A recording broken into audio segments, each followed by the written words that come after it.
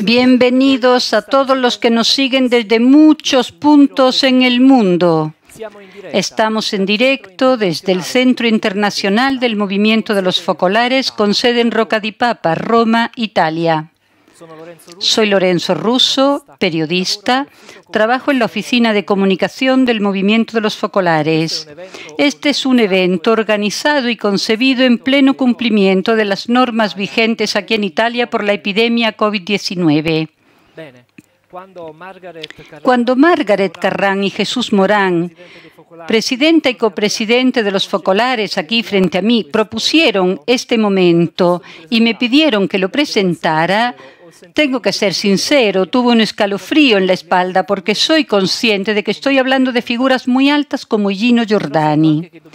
Pero siento también que debemos permanecer en ese ambiente familiar como habría querido Giordani. Por eso, antes que nada, damos la bienvenida a la familia natural de Gino Giordani. Bienvenidos la hija Bonizza, la nuera Silvia Samaritani y la nieta Simona. Bienvenidas. Pero también está la familia espiritual, además de Margaret y Jesús. Damos la bienvenida a Emmaus María Boche, a la que todos conocemos bien, y también a su eminencia, el cardenal Joao Brad de Avis, prefecto de la Congregación para los Institutos de Vida Consagrada y las Sociedades de Vida Apostólica. Bienvenidos. Decíamos que hoy, 18 de abril, recordamos a Gino Giordani, 41 años después de su partida al cielo, una figura polifacética. Es difícil dar una breve definición de él, precisamente por la riqueza y la variedad de su compromiso civil y político. Cofundador del movimiento de los focolares con Chiara Lubic. Fue político, miembro de la Asamblea Constituyente y del Parlamento italiano, periodista, escritor y jefe de redacción. Fue sobre todo constructor de paz, defensor de la unidad como destino del mundo, hombre de diálogo y de fe profunda. Pero, ¿por qué nació este evento hoy? Se lo preguntamos a Alberto Lopresti del Centro y Gino Giordani. Alberto, ¿cómo hemos organizado este evento? Son tres las circunstancias que nos llevan a reunirnos hoy en torno a la figura de Gino Giordani, que algunos de nosotros, quizás muchos de nosotros llamamos foco, que es en el modo con el que familiarmente Chiara se dirigía a él. Entonces, tres circunstancias, decía. La primera, muy concreta, hay un libro que apenas salió, una biografía dedicada a él. Creemos que es un instrumento único porque tiene una prefación ilustre. La firmó el presidente de la República Italiana, Sergio Mattarella, y también porque tiene también una prefación ilustre de Bonizza, la hija que está aquí de frente a mí, que con la invitación pudo escribir sus lindos recuerdos de su padre. Esta es la primera circunstancia. También hay una segunda, como ya se dijo, es el 18 de abril. El 18 de abril nosotros hacemos memoria de la partida al cielo de Gino Giordani, que fue hace 41 años, justo aquí, en esta estructura, en el piso de arriba, porque al día siguiente de la muerte mía, y Gino Giordani se transfirió a un focolar. En ese tiempo era el Centro Mariápolis, esta estructura que alojaba todos los retiros, congresos, todo lo que tenía que ver con los miembros del movimiento de los focolares. Entonces, había muchas personas aquí. Y cuando Gino salía hacer su cotidiano paseo, generalmente se encontraba con una masa de personas que querían saludarlos, intercambiar palabras, tener una conversación con él. Entonces, aquí está la tercera circunstancia. Hemos apenas instalado una estatua de un artista que conoceremos personalmente, dedicada a Gino Giordani. Y lo representa en un banco, con un rostro humilde, con una posición que invita a la acogida. consentire a voglia y a quien quiera, como en aquellos tiempos, puedes acercarse a Él, conversar, pensar en su sabiduría para partir después como E ahora, como hace muchos años. Y esta es la lógica de nuestro evento. Idealmente. Regresaremos a ese banco, pensaremos en la sabiduría de Gino y partiremos de allí convencidos, como él, verso la unidad con la contribución de cada uno de nosotros. Grazie di cuore. Bene, Gracias de corazón. Entonces, partimos de esa escultura. Vayamos un momento fuera de este auditorio, al jardín. Justamente ayer se instaló esta obra artística del escultor Peter Kostner. Veamos.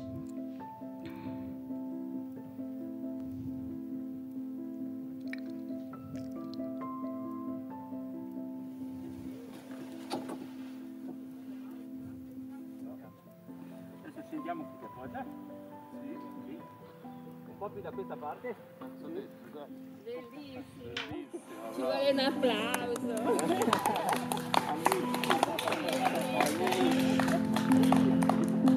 Peter Kostner, artista affermato. Peter Kostner, artista de renombre, proviene del Tirol del Sur, en el norte de Italia. Tus obras son famosas, conocidas en varios países europeos. Estamos en el Centro Internacional del Movimiento de los Focolares en Roca di Papa, cerca de Roma, Italia, donde se ha colocado una de tus obras de arte, una obra artística que representa a Gino Giordani sentado en un banco. ¿De dónde surgió la idea de esta obra de arte? Era así como pensaban en Higino Giordani sentado, como en los años en que era anciano, que estaba sentado aquí en un banco y las personas pasaban, lo saludaban, él las escuchaba, estaban juntos. Y vi algunas fotos, especialmente con jóvenes, en las que estaba allí y conversaba con los jóvenes. Así que lo he representado con el banco vacío para que las personas puedan sentarse allí y estar con él.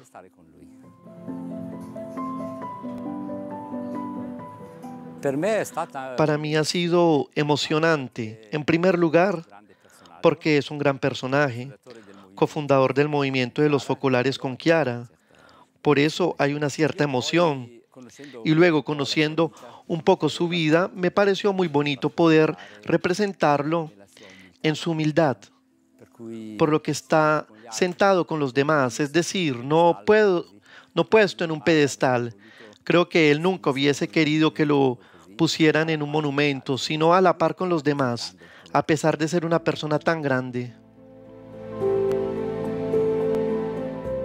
Si las personas ven la escultura, se sientan a su lado, les auguro que se sientan atraídas o que tengan el deseo de conocer su pensamiento, su vida y lo que él fue, y así tener también una inspiración para sus propias vidas. ¿Qué mensajes crees que puede radiar esta escultura a todos los que acudan al Centro Internacional de los Focolares? Cuando era un niño vine aquí para un congreso y lo recuerdo sentado aquí, conociendo sus escritos y sus pensamientos. Lo estimo muchísimo por ser un laico cristiano y coherente. Fui concejal en mi pequeña ciudad y ciertamente recordar a Gino Giordani Gino Giordani come lui como era coherente en todas partes me ayudó a tratar de ser simplemente coherente con mi fe cristiana. Para mí es un gran modelo para todos, no solo para los cristianos, sino para cualquier persona.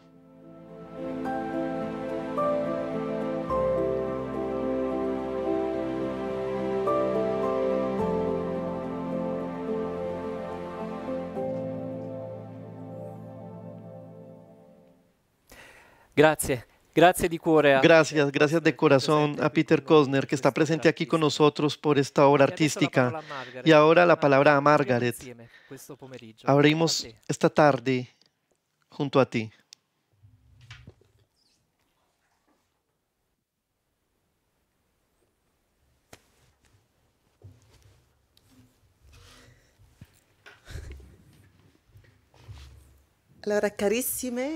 Queridas y queridos todos, con gran alegría doy apertura a este momento dedicado a Gino Giordani en el aniversario de su partida al cielo el 18 de abril de 1980, hace 41 La años. La escultura que estamos inaugurando hoy forma parte del jardín de este Centro Internacional del Movimiento de los Focolares. Representa a Gino Giordani, como hemos visto, sentado en un banco. Una imagen inolvidable para muchos de los que pasaron por allí, lo conocieron, lo saludaron o incluso tuvieron un coloquio personal con él. De hecho, durante los últimos años de su vida terrenal, Giordani, que se había quedado viudo, vino a vivir aquí mismo, en el Focolar. En estos años hemos recogido muchos testimonios de lo que ocurrió en ese banco. Algunos jóvenes le plantearon sus dudas sobre la fe.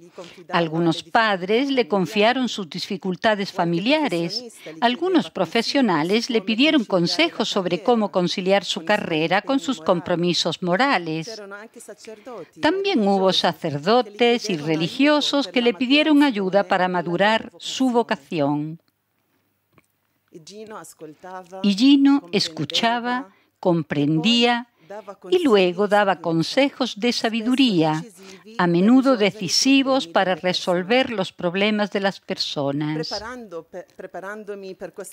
Al preparar este evento, recordé con emoción uno de los momentos más hermosos de mi vida. Era nel 1978, Era 1978, cuando al final de un congreso de jóvenes del movimiento de los focolares, junto con otras chicas de mi edad, conocimos personalmente a Gino Giordani en el jardín. Muchos jóvenes querían saludarlo y nos preguntamos por qué, por qué había tanta gente que lo rodeaba. Nos dijeron que era una gran personalidad, pero que para ellos era simplemente foco. Así lo llamaban todos los que lo querían. conosceva bene. Era colui che aveva Fue él quien ayudó a Chiara anni en los primeros años de vida del movimiento gracias a su riquísima experiencia en el ámbito cultural, religioso y político. Gracias a él, muchas personas conocieron el ideal de la unidad. Además, como estaba casado, había abierto el camino nuevísimo de la consagración a los focolares. para los casados.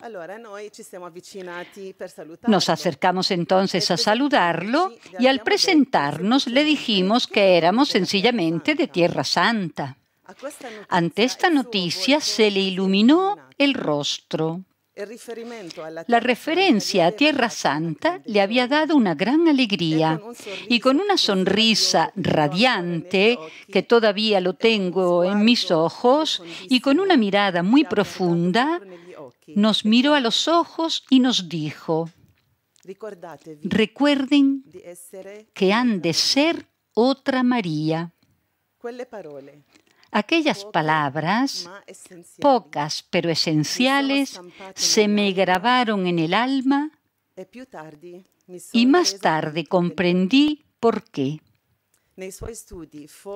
Foco en sus estudios, se había detenido muchas veces sobre los acontecimientos y lugares donde había nacido. Jesús y había comenzado a predicar, como si hubiera querido descubrir los aspectos más íntimos de la vida que llevaba la familia de Nazaret para poder imitarlos.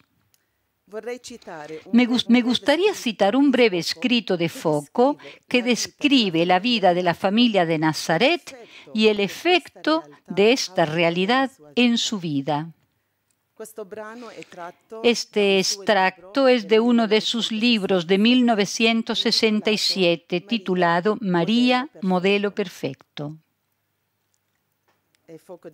Decía Foco, la convivencia en Nazaret se desarrolla en este espíritu. Jesús, el verbo que se prepara en el trabajo.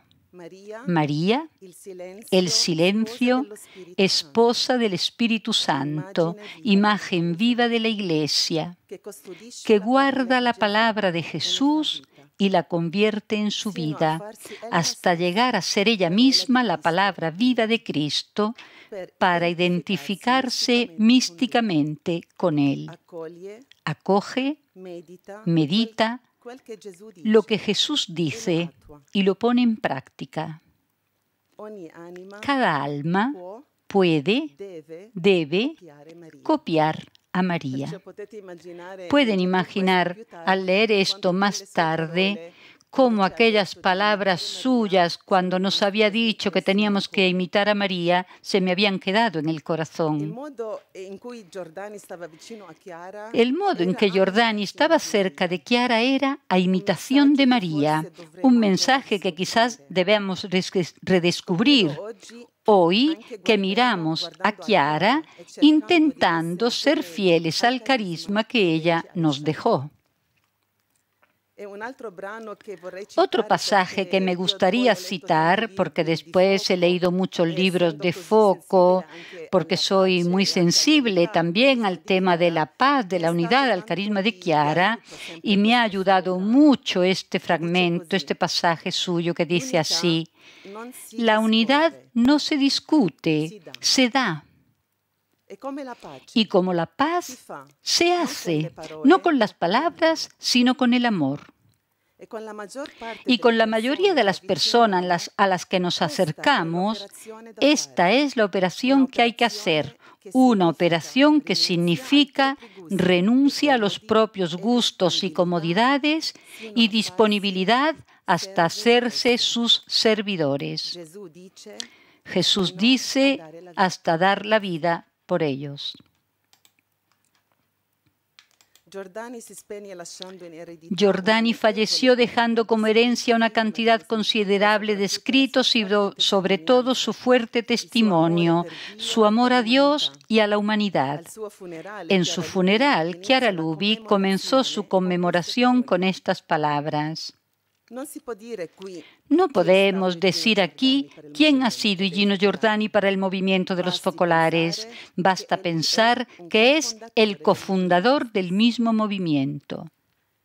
La personalidad de Giordani sigue despertando un profundo e interés, y no solo en el mundo católico. Su voz profética sigue resonando a través de sus textos, cientos de libros, miles de e artículos y numerosos discursos políticos. Su palabra nos ilumina e y nos guía a che través de los retos que estamos afrontando actualmente, infundiéndonos valentía y amor concreto por la humanidad. Penso che da ora in poi A partir de ahora, centro creo que quien llegue a este centro internacional encontrará esta escultura simbólica. Será como si Foco nos acogiera con su mirada y nos mostrara el camino para encontrarnos todavía hoy con Chiara viva en su centro, recordándonos el maravilloso designio que Dios tuvo sobre ella y el significado de la figura de Foco a su lado. Gracias. Grazie Margaret. Gracias. Margaret. Gracias de corazón. Entonces, juntos, esta operación virtual de sentarnos en el banco. Afortunadamente tenemos a los que vivieron esta experiencia, como Margarida que vive en Portugal, y a los que tuvieron otro banco en la biblioteca de la Cámara de Diputados del Parlamento italiano, o sea, Rosa Russo y Arbolino, politica italiana política italiana de larga trayectoria, varias veces ministro de la República Italiana y alcalde de Nápoles. Escuchemos antes a Margarida.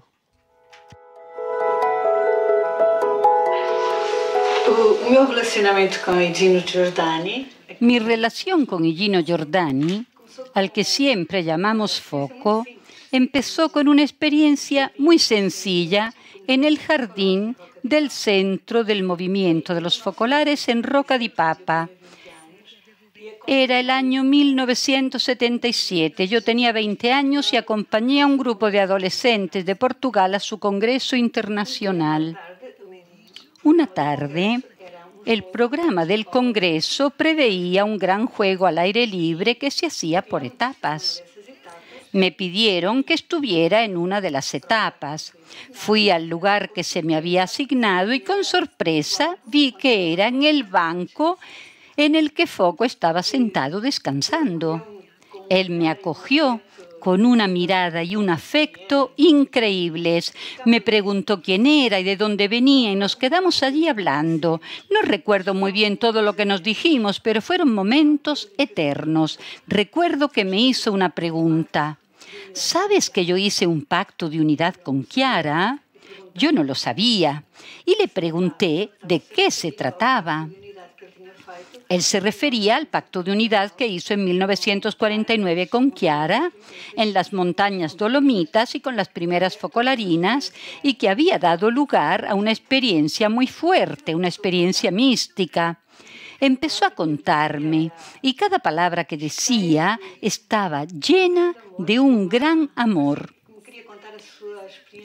Parecía que quisiera contarme su experiencia más fuerte un secreto que quería consignarme. Me sentí tan involucrada, tan atraída, que le pregunté si nosotros dos también podíamos hacer el pacto y enseguida me dijo, sí, por supuesto, mañana. Mañana, durante la misa, después de la comunión, tú le dirás a Jesús en la Eucaristía que haga un pacto de unidad sobre tu nada y yo haré lo mismo. Pero debe ser realmente sobre la nada, ni siquiera sobre nuestras miserias. Y después me dijo, pero ¿sabes lo que significa hacer el pacto? Significa que estaremos unidos para siempre. ¿No te da miedo? No, en absoluto. Yo lo quería realmente.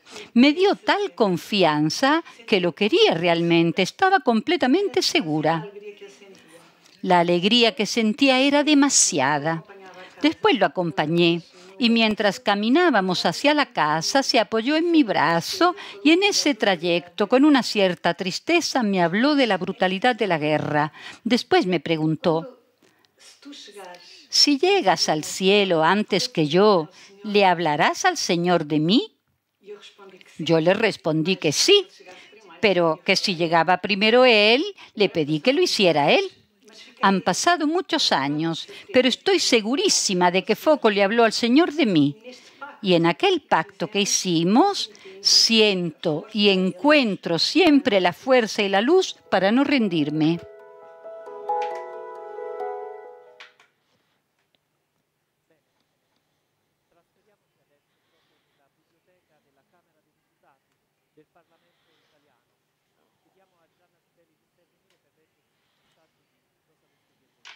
Disculpen, no nos llega el audio.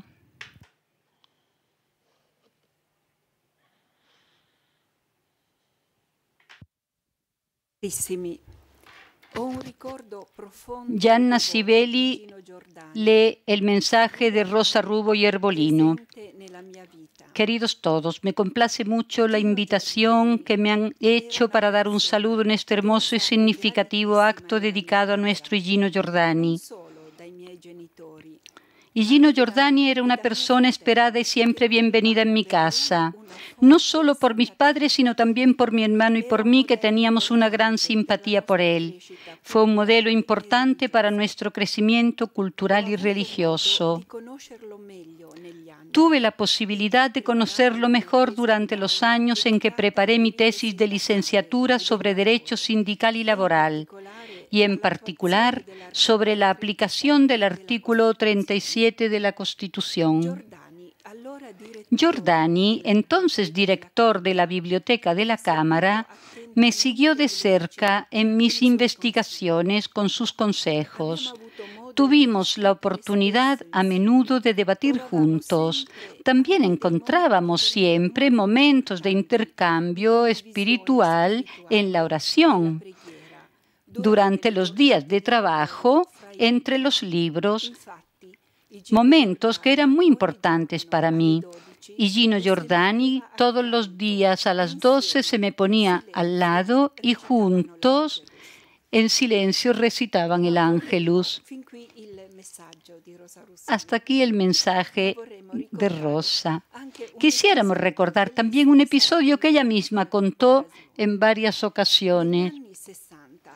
En los años 60, para su tesis de licenciatura en Derecho, investigó los problemas de los horarios laborales y las repercusiones en las familias de los trabajadores, sobre el trabajo infantil, sobre las malas condiciones del trabajo de las mujeres y de las madres. El profesor que la seguía le preguntó provocativamente si ella quería licenciarse en Derecho o diplomarse en asistente social. Y ella, preocupada, le confió esto a Giordani, que le dijo, y ella misma lo cuenta, dime una cosa, ¿te importa más obtener el suman cum laude o más bien hacer algo por los niños y las mujeres trabajadores? Trabajadoras? Le contesté las dos cosas y dijo, pero si tuvieras que renunciar a una de las dos, en ese momento respondí que abandonaría el summa con laude. Verdad y valentía, me dijo Giordani, deben ser siempre los rieles de tu vida. No le quites nada a la tesis, entrégala así como es. Después de mi introducción a la tesis, el profesor hizo un comentario seco, pero el presidente de la comisión, un hombre muy laico, intervino diciendo, por fin una tesis que no habla solo de diatribas entre juristas, sino que dice también para qué sirve o debería servir el derecho, para cambiar la realidad. Propongo su publicación. Así que obtuve el summa cum laude y la publicación. Entonces fui a ver a Giordani un poco excitada y él seráficamente me dijo, ¿pero no sabes que el Señor nunca se deja superar en generosidad? Ve adelante por tu camino. Gracias. Grazie, grazie di cuore Gianna e grazie anche all'onorevole Rosa Russo Gracias che in questo momento ci sta seguendo da casa. a la diputada que nos está siguiendo desde casa. Ahora que nos hemos sentado en el banco, recurramos a la sabiduría. Lo hacemos a través de los testimonios de Manuel Araujo, médico brasileño, la, coroa- la coreana Colomba King, teóloga moral, y William Calvo, académico americano, que nos ofrecerán sus testimonios. Cómo de aquella sabiduría podemos extraer esos valores que sostienen la santidad en la vida de los laicos. Los escuchamos.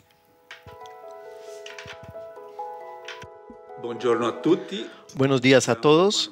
Mi nombre es Manuel Araujo. Soy médico, focolarino casado. También mi esposa María Marta es focolarina. Vivimos en el sur de Brasil. Tenemos cuatro hijos y cinco nietos. Conocí a Gino Giordani cuando conocí el movimiento de los focolares en 1974. Ho iniziato a leggere Empecé a leer sus libros, sus escritos, casi todos los días, no solo por el interés de conocerlo más profundamente, sino por el deseo, salvando las distancias, de imitarlo. Tuve la oportunidad de hablar de Gino Giordani o de regalar sus libros a mis amigos en un intento de que otros pudieran hacer mi mismo descubrimiento y enamorarse de su vida, como lo hice yo. Seguir sus ejemplos tan útiles para quien quiera tratar de ser santo en la normalidad de cada día. La santidad también posible para los casados. Entrar por la puerta que Él abrió de par en par, destruyendo la separación entre consagrados y no consagrados. Giordani fue el primero en el movimiento en experimentar un milagro especial del amor de Dios, el de poder vivir para los que llama una virginidad espiritual, es decir, que también permite a los que están casados y viven en medio del mundo poder entrar en una intimidad con Dios que en el pasado estaba reservada solo a los consagrados. Este milagro permite a las personas casadas y consagradas, espiritualmente igualadas por el amor, traten de revivir la realidad de la familia de Nazaret en pequeñas comunidades en medio del mundo, los focolares. Es un don extraordinario que la Virgen María, esposa y madre, da a la humanidad a través del movimiento de los focolares. Comencé a ver, son palabras de foco, comencé a ver la realidad de esta verdad inculcada en el focolar, que al ver al hermano se ve al Señor. Estaba emergiendo una nueva vida social. El Señor dijo, sean perfectos a todos, no a un grupo pequeño. Ser dóciles para que el Señor actúe. El encuentro con la espiritualidad de Chiara le hizo comprender que no se trata tanto de mostrar la existencia de Dios a quienes la niegan, sino de demostrar la vida de Dios en nosotros. Si vivo a Dios, quien me ve reconoce que Dios existe. Su experiencia nos demuestra que conoció momentos de fama en el ámbito de la cultura y de la iglesia, pero también sufrió sus oscuridades interiores y sus angustias hasta las lágrimas. Escribió páginas abiertas a significados altísimos de la historia de la humanidad y páginas íntimas de su palpitar cotidiano, el diario de fuego, para disfrutarlo gota a gota si queremos descubrirlo como un verdadero hombre, con sus aspiraciones, desilusiones y victorias. Un hombre vivo, un hombre con espina dorsal. Me gustaría concluir con otra frase de Gino Giordani. Nos toca a nosotros casados hacer que la casa de Nazaret, la casa de María, vuelva a existir todavía en la tierra, con Jesús en medio y su madre al lado.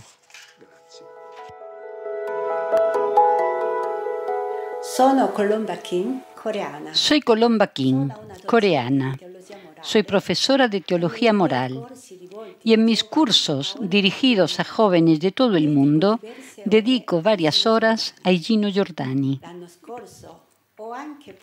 El año pasado también publiqué un libro en lengua coreana con el título Taurenbukot, que en italiano sería Fuego Ardiente, para hacer conocer a Gino Giordani a mi pueblo coreano. Profundicé la figura y el pensamiento de Giordani en mi investigación académica.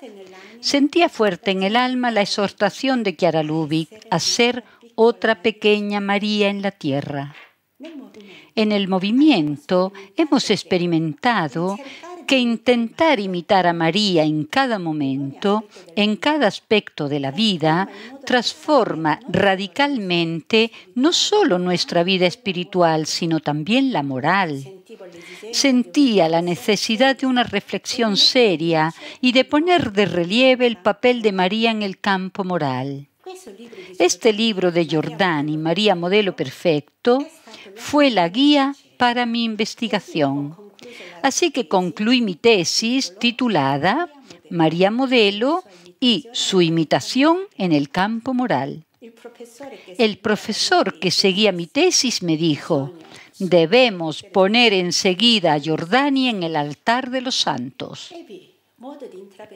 Enseguida vislumbré que la novedad de su pensamiento era una nueva concepción de la teología matrimonial y familiar, que se ha convertido en materia del doctorado. El concilio declaró que la teología moral debe ilustrar la altura de la vocación de los fieles en Cristo y su obligación de dar fruto en la caridad para la vida del mundo. Pues bien, Giordani encarna plenamente esta exhortación. Basta ver los abundantes frutos que han surgido de él, el progenitor de más de 3.500 focolarinos casados en todo el mundo. Giordani fue el luminoso y carismático promotor de la desproletarización del laicado, como le gustaba decir. Evocó con fuerza el hecho de que todos somos iglesia. vislumbró un camino de santidad a través de la vida matrimonial y no a pesar de ella.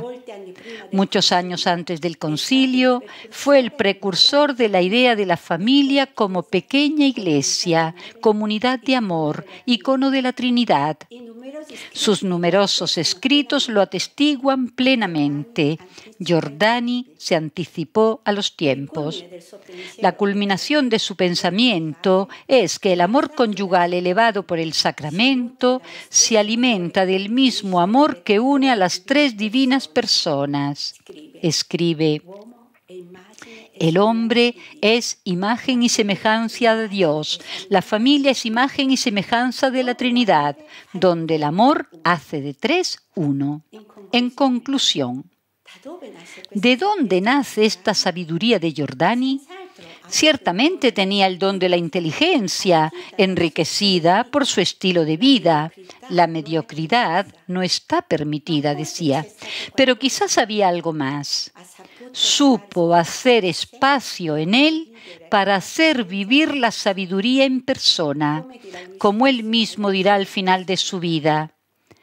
Para mí, el vivir es Cristo, el aliento es el Espíritu Santo.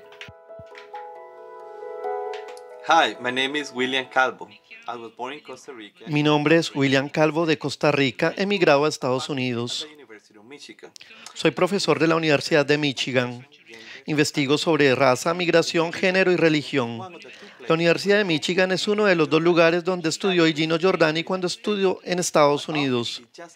Mi oficina está justamente al lado de donde él trabajaba y a poca distancia de la casa donde alquiló una habitación como estudiante. Esa casa sigue siendo utilizada por los estudiantes hoy en día.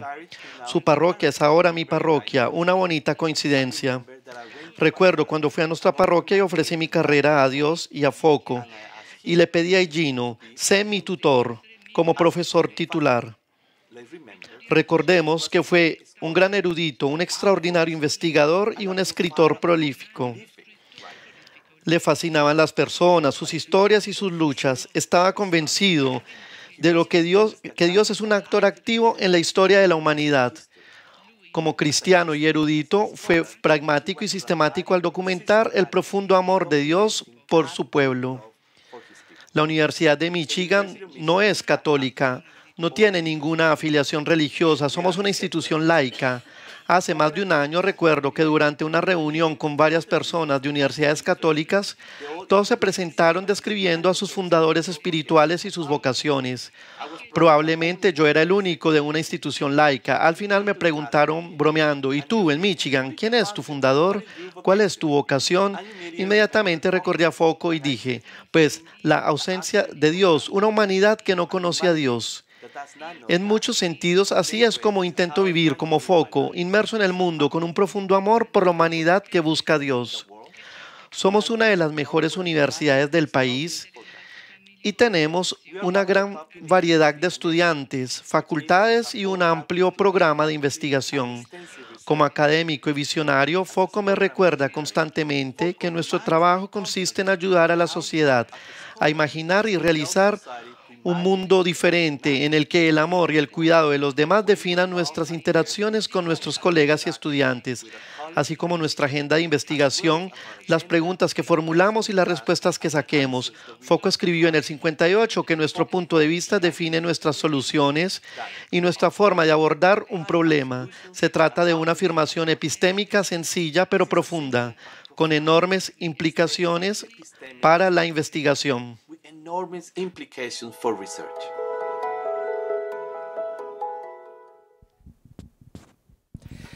Bene, e Bien. adesso lasciamo proprio che sia lui. Pero ahora Gino dejemos que Giordani, sea precisamente él, Gino Giordani, quien nos diga en un discurso de 1975 aquí en Roca di Papa cómo quería interpretar concretamente las palabras del Evangelio.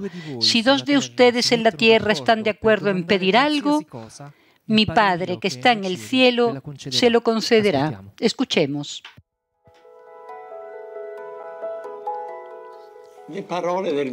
Las palabras del Evangelio empiezan así. Si dos de ustedes en la tierra se ponen de acuerdo en la tierra. Por lo tanto, en todo el planeta, en los cinco continentes, no solo en los claustros y lugares sagrados. La caridad disipa confines y angustias.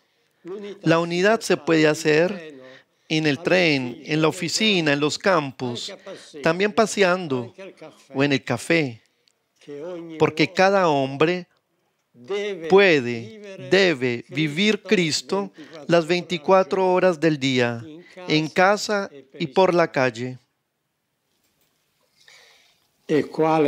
¿Y qué unidad? Jesús mismo la definió así. Si dos de ustedes en la tierra se ponen de acuerdo para pedir cualquier cosa, el Padre mío que está en los cielos se la concederá. Nada menos. Dos unidos obtienen en la tierra cualquier don del cielo. Establecen una comunión entre cielo y tierra en la que se podría decir, se comunica a los hombres la omnipotencia de Dios por participación. De Él proviene la eficacia de tal unidad, porque Él interviene, inspira y participa en esta unión formada así por dos mortales y un inmortal. Pensemos en el caso más frecuente de dos personas con Jesús en medio. Son tres personas, un fruto de la encarnación de Jesús mismo, por la cual divinidad y humanidad se unen en una Trinidad humano-divina. Yo, el hermano y Dios. De la potencia de esta unidad con Jesús en medio, hice la prueba pocos meses después en la misma Cámara de Diputados. En una noche de disputa frenética y en una confusión de contiendas y amenazas por un choque de partidos en la Cámara de los Diputados, pedí la palabra con la intención de tratar de poner un poco de orden, deber de cristiano focolarino. Cuando el presidente me concedió el permiso para hablar y estaba a punto de levantarme, corrió a sentarse a mi lado el diputado Tarcisio Pacati, un diputado focolarino ávido de santidad, que me susurró, me siento a tu lado para tener a Jesús en medio. Se produjo casi un milagro. La asamblea tumultuante poco a poco se aplacó y se puso a escuchar en silencio. Al final estalló con, con un aplauso al que, cosa no común, participaron los diputados de todos los partidos. ¿Y esto por qué? Porque contra un conflicto irracional, yo abogué por una actitud de racionalidad cristiana entre dos frentes opuestos, una aplicación del ideal evangélico.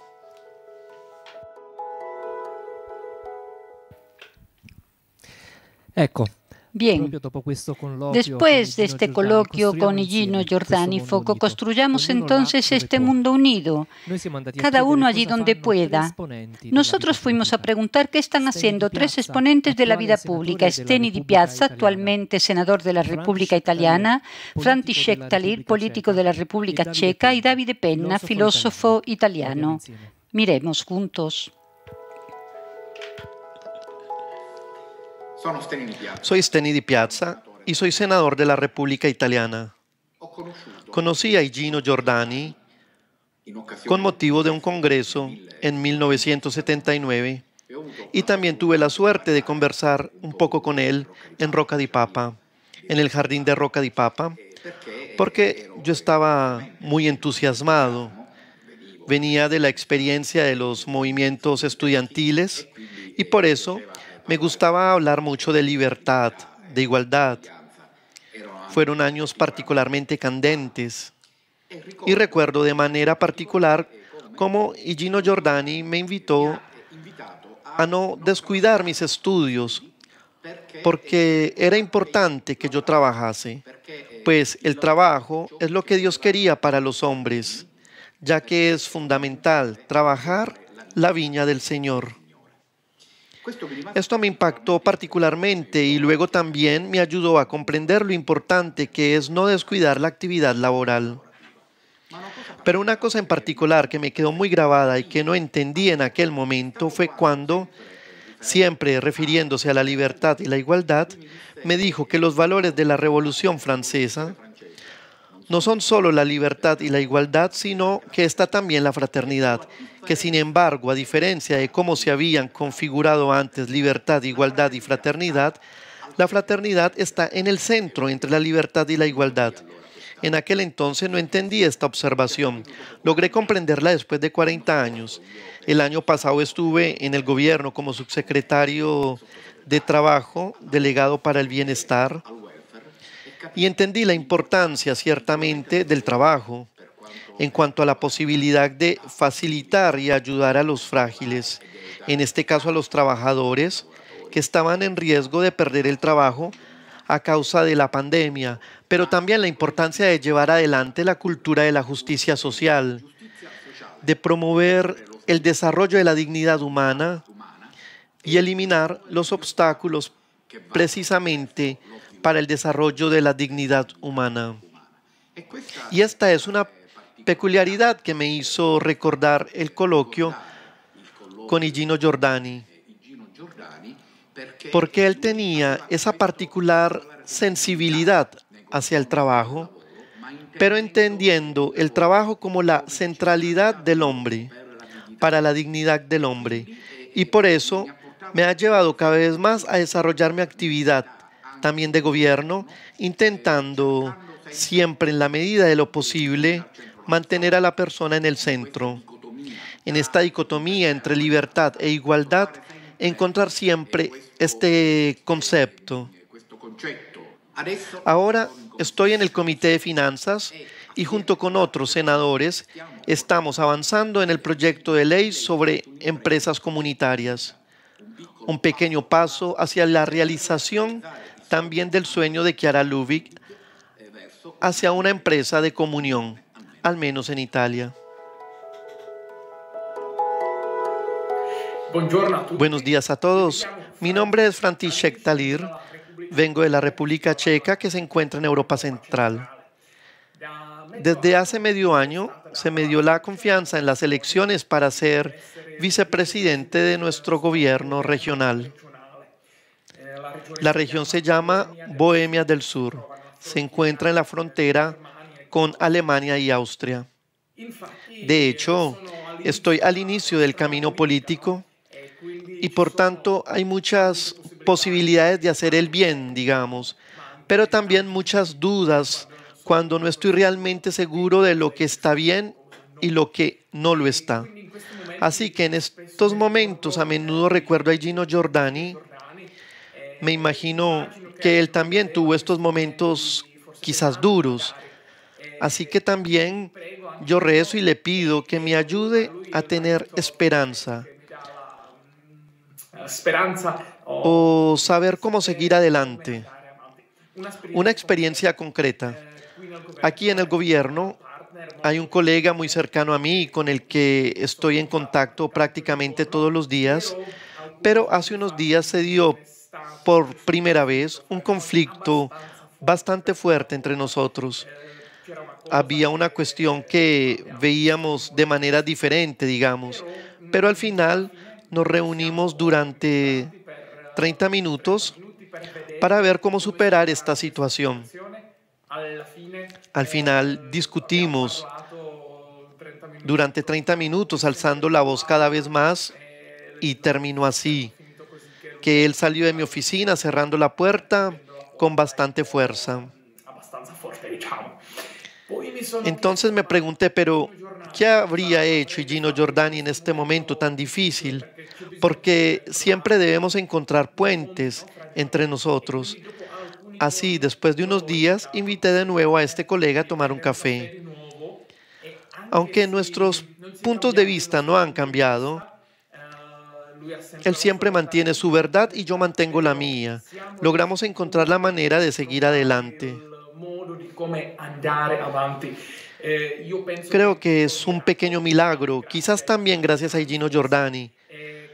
Creo que en estas situaciones, que seguramente existirán siempre, podemos cambiar esto. ¿Cómo hacer política? Esto fue actual para Gino Giordani, es actual para mí, para todos los que están en política o en otras cosas políticas públicas. Les deseo un buen día y estoy contento de estar tan en contacto. Adiós. El día en el que recordamos la extraordinaria figura de Gino Giordani, nos parece muy importante no solo celebrar su recuerdo, sino también intentar actualizar su pensamiento.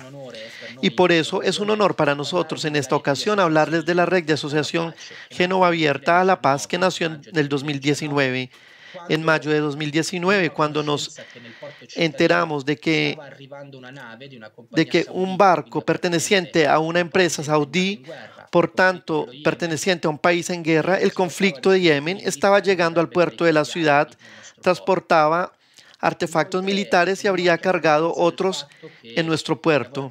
Además, supimos también que los trabajadores portuarios, con una elección extraordinariamente valiente, decidieron negarse a cargar estos artefactos. Entonces, con un grupo de asociaciones de ciudadanos, empezamos cuatro y llegamos a ser más de 30, incluso muy diferentes entre sí, decidimos apoyar públicamente esta decisión, unidos en el espíritu de la paz, como lo llamaba Gino Giordani.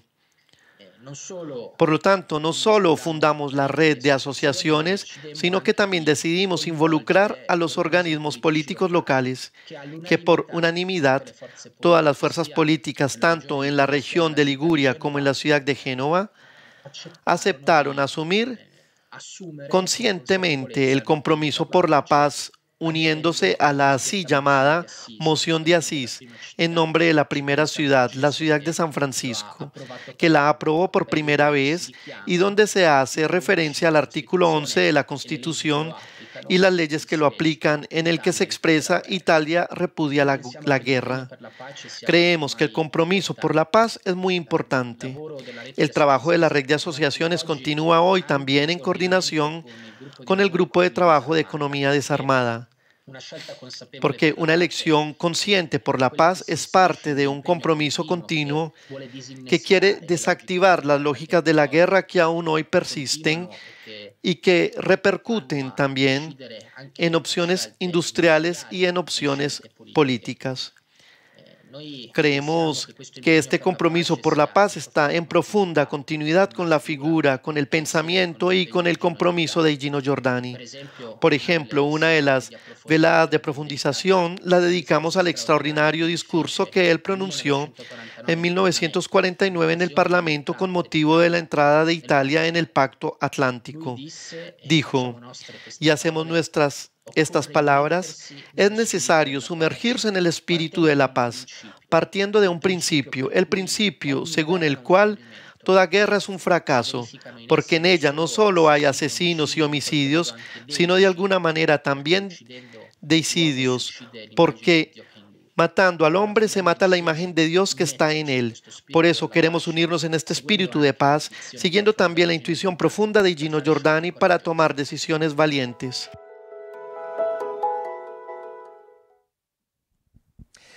Para los que quieran saber más, imaginando que habremos suscitado mucha curiosidad en el público, por ahora solo para el público italiano ha salido el último libro biográfico titulado Igino Giordani, un héroe desarmado, editado por el Centro Igino Giordani.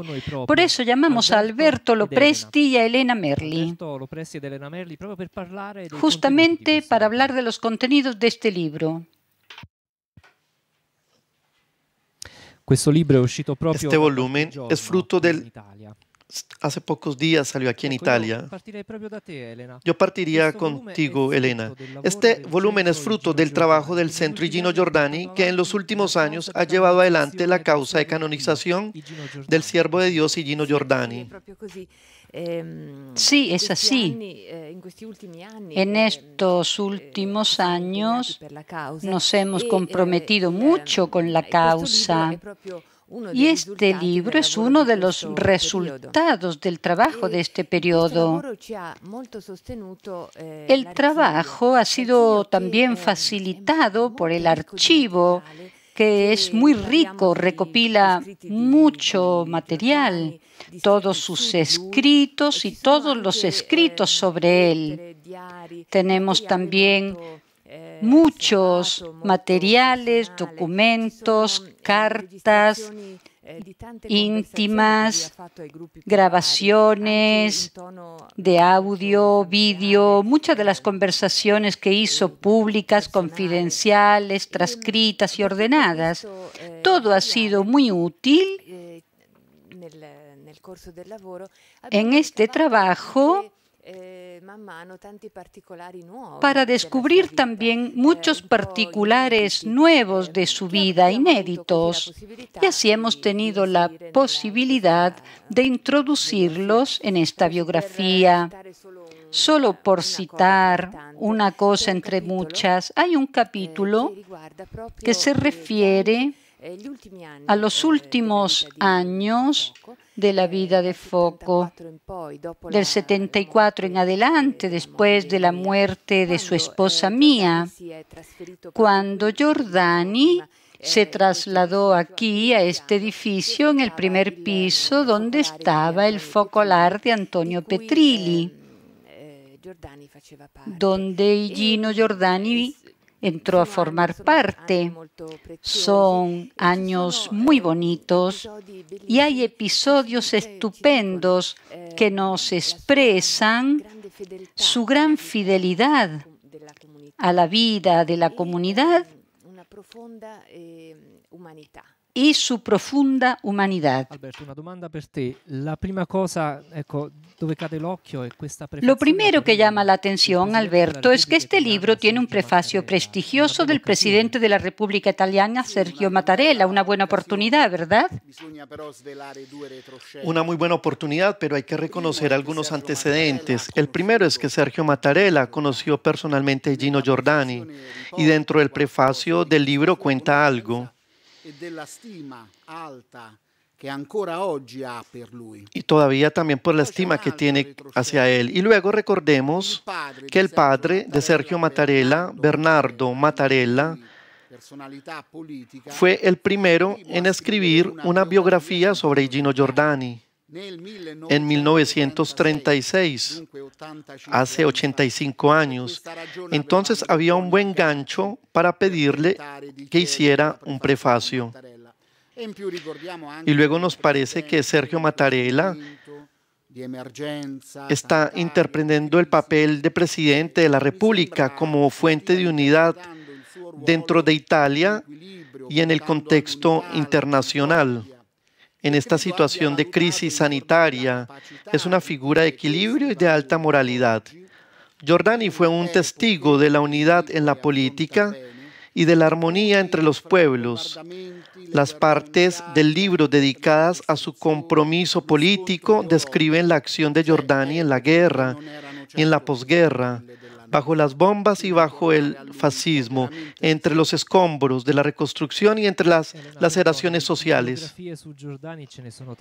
Hay muchas biografías sobre Giordani, por lo tanto, como hemos oído antes, desde el 36 entonces, ¿por qué han querido hacer otra?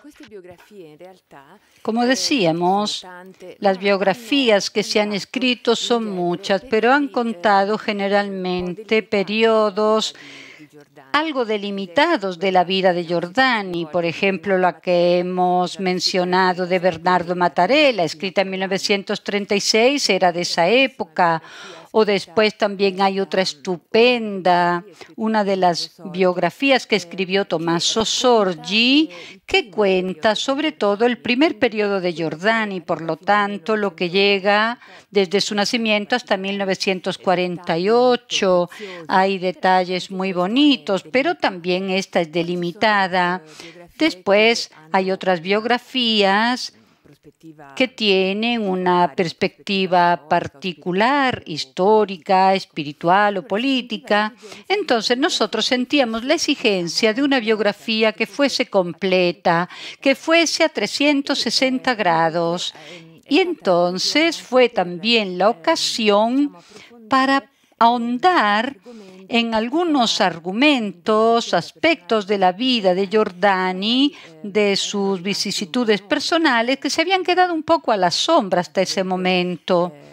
Por ejemplo, la vida familiar de Foco, su relación muy profunda con Chiara Lubick y también ese periodo de luz particular, que fue el paraíso 49 que vivió Giordani con Chiara. También, por ejemplo, cuando entró en la tercera orden dominica, que no se había hablado de eso, u otros antecedentes de su vida política. Por lo tanto, ha sido la ocasión para poder dar a conocer todos estos particulares. Y ahora, para citar otro capítulo un poco nuevo, está ese que se llama La Jordania. Era el título con el que Giordani, bromeando, definía a su familia, Giordani, entonces Jordania. Aquí tenemos a Bonizza, también los otros hijos, Brando, Mario, Sergio. Era una familia muy vivaz. Y entonces allí también hay algunos antecedentes muy curiosos. ¿A quién, se dedica, ¿A quién le dedicarías tú este libro? A todos aquellos que quieran resolver el misterio de los misterios, es decir, cómo tener una vida de total entrega a Dios, aun estando inmersos en el mundo de las cosas más comunes, en la vida doméstica, en el trabajo. Este misterio fue un interrogante para Giordani toda la vida y para encontrar las respuestas estudió padres de la iglesia, teólogos medievales, modernos. La respuesta la encontró con Chiara Lubick. Yo creo que esto sea decisivo y quisiera contar un episodio inédito que en el libro está descrito. Esta su sed de Dios lo llevó en el 1928 enamorado de Santa Catalina, creyendo que esa fuera la elección justa para poder satisfacer su deseo, pero no, le, no fue muy bien. Fue una desilusión porque hizo experiencias en la vida comunitaria, con los terciarios, con los laicos, en una misa el domingo y una prédica. Y a esto no le bastaba. Y entonces hizo una petición inaudita en aquella época a los sacerdotes. Pero ¿por qué no compramos un apartamento? Así ustedes con la túnica y nosotros con los pantalones de laicos. Nos vamos a vivir allí cuando podamos. Y así está, convivimos. Le respondieron que esto no estaba en la regla. Esto fue en el 28, 1928. Lo que él buscaba era esta convivencia entre vírgenes y consagrados. Y que después Chiara le respondió, 20 años después, en 1948, cuando encontró a Chiara Lubick. Es algo que tiene increíble, pero verdadera. muy jordaniana. Gracias Alberto, Elena, por estas menciones inéditas de Gino Giordani, pero todavía dejemos que nos salude Gino Giordani con sus palabras. Y nuestro empeño en educar a la relación con Jesús en medio resulta una promoción de la solidaridad en la colectividad, en todos los sentidos, religioso, político, social, económico y profesional. También los estudiosos ven en esta solidaridad la única alternativa al estado de rivalidad de hoy, estado de contiendas y de contrastes, porque los hombres no han estado nunca tan apiñados como hoy y nunca han estado tan solos, cada uno por su lado, tan incomunicados como hoy. Respecto a esto, el impulso comunitario suscitado por el amor cristiano e incitado hasta inserir en él a Jesús es un despertar religioso y social que, si como creemos, logra su objetivo, cambia la historia de la humanidad.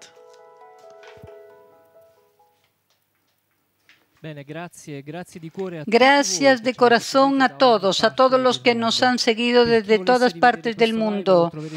Para quien quiera volver a ver esta transmisión, la encontrarán en breve en el canal oficial de YouTube del Movimiento de los Focolares o también en nuestra página web focolare.org en cinco lenguas. Gracias por estar aquí presentes, por todos los que han intervenido y hasta pronto.